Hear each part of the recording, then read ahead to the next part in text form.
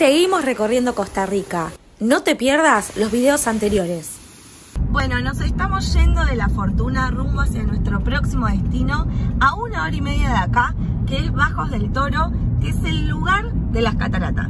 Bajos del Toro es considerado la cuna de las cataratas de Costa Rica. Si bien se encuentra bastante cerca de La Fortuna, no es uno de los lugares más elegidos por los turistas, pero les aseguro que vale la pena. Como es algo habitual en esta zona, suele llover bastante, y es recomendable circular con precaución ya que hay muchas curvas, aunque el estado de la ruta estaba bastante bueno. Bueno, ya entramos a la colonia Toro Amarillo. Miren qué linda la iglesia. Llueve. Bajos del Toro se encuentran en el cantón de Sarchí, en la provincia de Alajuela. Bueno, esa lluviecita finita que tapa bastante la visual. Y con precaución, despacio, hay bastantes subiditas. Finalmente llegamos a este paraíso. Bueno, como dice este cartel, estamos en un valle situado entre volcanes, el Poás, el Congo y el Chocosuela Volcán Viejo. Nos alojamos en este oasis en medio de la naturaleza.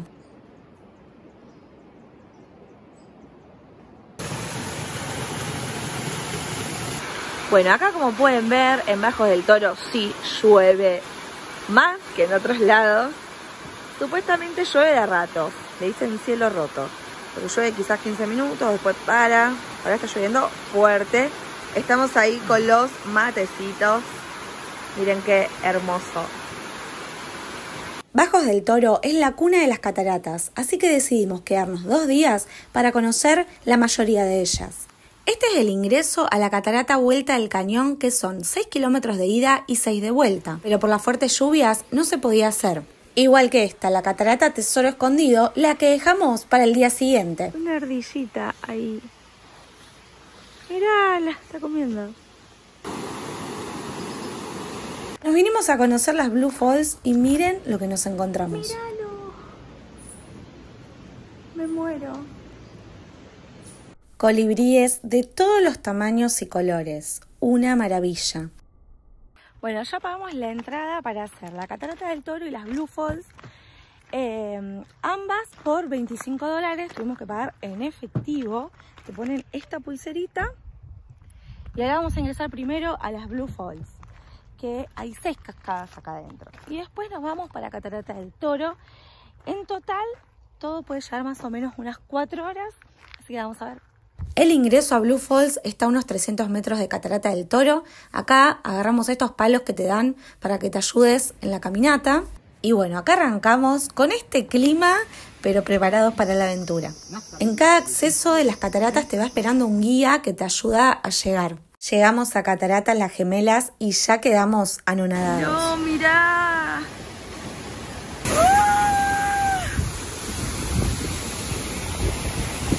Y acá está la otra gemela, mira. qué belleza.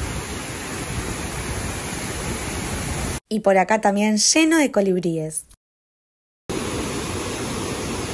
Seguimos hacia la poza azul a ver si nos animamos a meternos.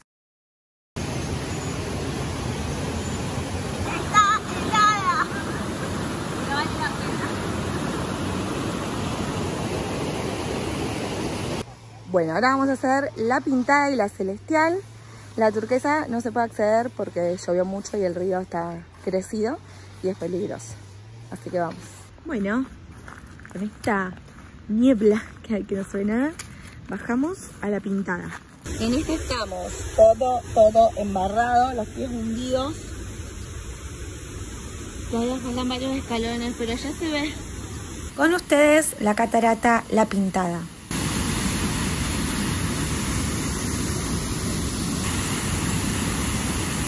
Bueno, por ir a la celestial son 186 escalones. No vamos más. Pero una vez más, claro que valió la pena.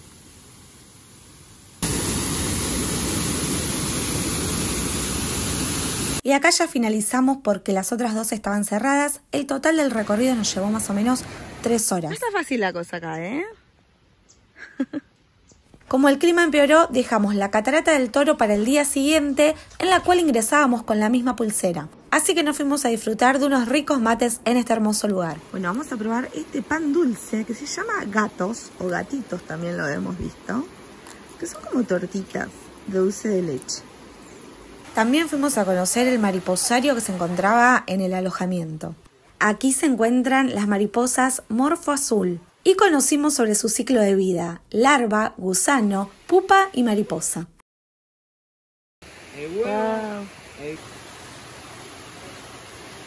Son realmente hermosas. Comenzamos un nuevo día visitando la catarata del toro que nos había quedado pendiente el día anterior.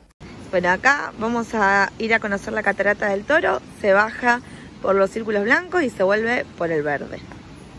Bueno, apenas empezar el sendero ya se ve Mirá.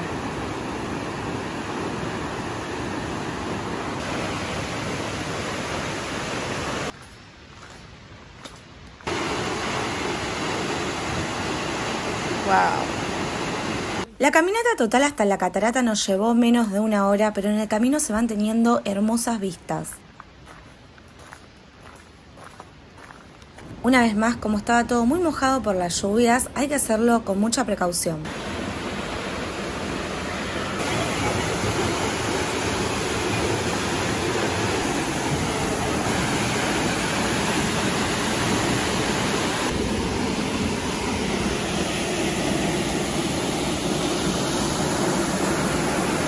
Sin dudas es de mis favoritas, es súper imponente.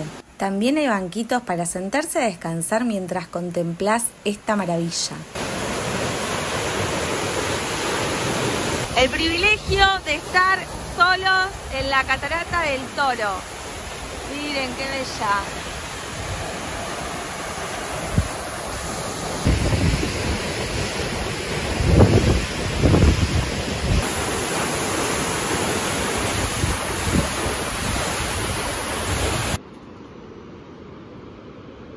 Emprendimos el regreso y conocimos el jardín lleno de mariposas y colibríes.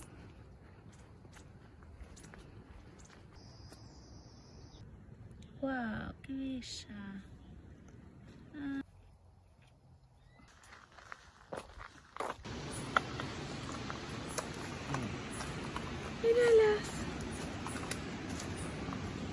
También nos encontramos estas hermosas ardillas. Y ahora sí a conocer la última catarata de nuestro itinerario. Bueno, estamos ingresando a la catarata Tesoro Escondido. La entrada cuesta 7.500 colones. Son aproximadamente 6 kilómetros entre ida y vuelta y acá también se pueden visitar pozos azules y un mirador. La cosa estaba complicada porque había llovido mucho, pero aún faltaba la peor parte.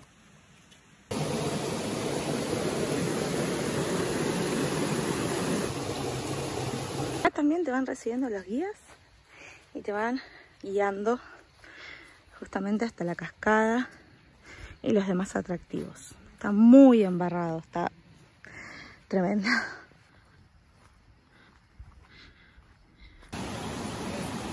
El paisaje, como todo Bajos del Toro, es alucinante. Ya casi llegando a la catarata, pero había que pasar literalmente por el agua. Sin embargo, claro que valió la pena.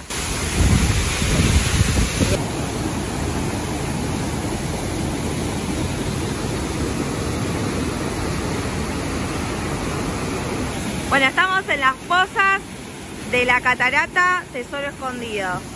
Hay varias. Para allá sigue.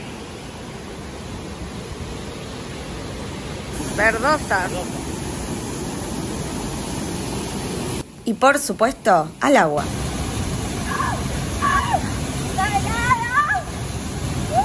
Terminamos el recorrido y nos fuimos a tomar algo a una cafetería de especialidad que es la única que van a encontrar en el pueblo. Por cierto, todo muy rico. Por la noche fuimos a comer algo, hay algunos bodegones en el pueblo y acá les muestro un poco los precios. Bueno, vamos a probar el chirrite que te sirven acá de cortesía. Vamos a comer el papanacho de pollo, lo pedí yo, y el chalupa. Wow, tienen pinta. Esto que acá le llaman pico de gallo es nuestra salsa criolla. Momento de dejar este paraíso de Bajos del Toro y nos vamos para el Caribe Sur, hacia Manzanillo. El GPS nos marca cuatro horas y media, después les cuento. Si tenés alguna duda, déjamela en los comentarios y no te olvides de suscribirte para no perderte el próximo video del Caribe Sur.